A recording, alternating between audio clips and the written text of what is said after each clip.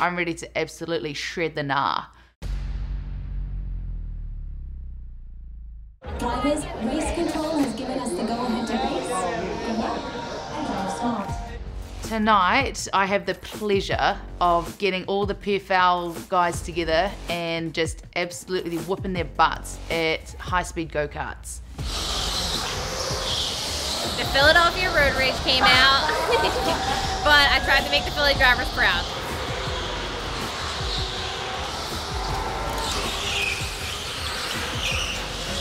Like you drift and then you corrected it, slows down, so then you turn not the drift as hard, and the steering wheel's like wicked, wicked, wicked, wicked.